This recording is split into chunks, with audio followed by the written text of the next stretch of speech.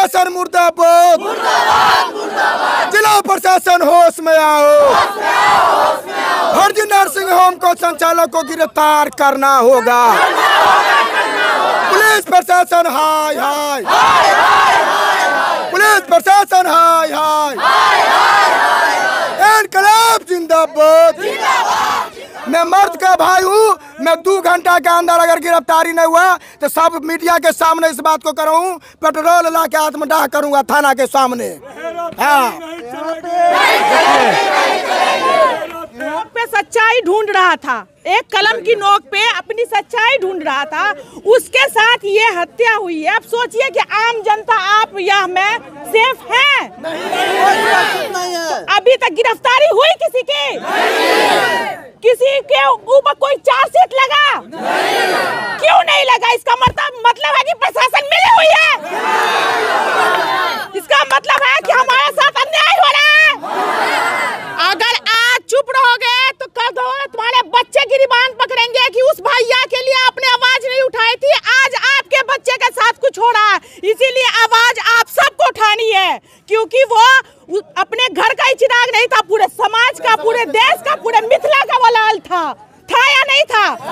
हमारे मिथिला के लाल के साथ इंसाफ हो। इंसाफ हो इंसाफ हो। पुलिस प्रशासन मुर्दाबाद। पुलिस प्रशासन मुर्दाबाद। त्रिलोक जा कर रहा है मैं मर्द का भाई हूँ। मैं दो घंटा के अंदर अगर गिरफ्तारी नहीं हुआ तो सब मीडिया के सामने इस बात को करूँ पेट्रोल ला के आत्मदाह करूँगा थाना के सामने। हाँ। मैं यही कहना चाह रही हूँ कि अविनाश एक नहीं है। यहाँ पे जितना भी लड़का है, जितने भी हमारे बड़े बुज़ुर्ग में, सब में एक अविनाश है। यहाँ पे सब अविनाश की छवि है। लेकिन एक अविनाश खत्म नहीं हुआ। उसकी सच्चाई को छिपा करके, जो सच्चाई आप, वो तो दिखा दीजिए। क्यों मरा? किस लिए मरा? क्या हुआ? उसके साथ क्या हुआ? कितना बड़ा अन्याय हो रहा है। आप बताइए अभी तक प्रशासन ने किसी की गिरफ्तारी की? कहीं पे छापा मारा किसी उसके दोस्त द्रोही को किसी को भी पकड़ा अरेस्ट किया नहीं किया कुछ भी नहीं। इसका मतलब है साफ़ साफ़ कि प्रशासन भी मिली हुई है। प्रशासन भी साथ दे रही है। क्यों दे रही है? क्यों? अविनाश अविनाश अविनाश को इंसाफ नहीं मिलेगा। ऐसे ही रोज यहाँ पे चौराहा पे हर चौराहा पे मिथिला के हर चौराहा पे आपको यही सभा मिलेगी यही जाम मिलेगा जब तक अन्याय के खिलाफ हमारे बच्चे को इंसाफ नहीं मिल जाता। इसी तरीके से हम लोग रोड पे अन्याय के खिलाफ आवाज़ देते रहेंगे। जी हाँ बिल्कुल। एक पत्रकार की हत्या हुई है। यहाँ पर एक और मैम है। क्या नाम हुआ मैम आपका? स्वर्णिम किरण किरण मैम है? मैं मैं किसी सवर्णी किरण मैम है। पार्टी से नहीं हूँ बल्कि लोक संस्कृति मंच से मैं जुड़ी हुई हूँ और साहित्यकार हूँ। साहित्यकार होने के साथ साथ मैं एक माँ हूँ और मुझे बहुत रोना आ रहा है कि एक पत्रकार हम सारे लोगों की आवाज़ होती है। उस आवाज़ को अगर दबा दिया जाता है आप लोग जानते हैं कि वो क्या काम कर रहा था? आप लोगों की मदद कर रहा था जो गरीबों का शोषण हो रहा था अस्पतालों में। उसके खिलाफ वो आवाज़ उठा रहा था, उसके खिलाफ वो जा रहा था और इसलिए उसकी आवाज़ दबा दी गई और उसका हत्यारा पकड़ा नहीं गया है। तो ये पुलिस वाले किस लिए हैं? ये पुलिस वाले जो इतनी बड़ी बड़ी वर्दियाँ लगा के सितारे लगा के खड़े हैं, वो किस लिए खड़े हैं?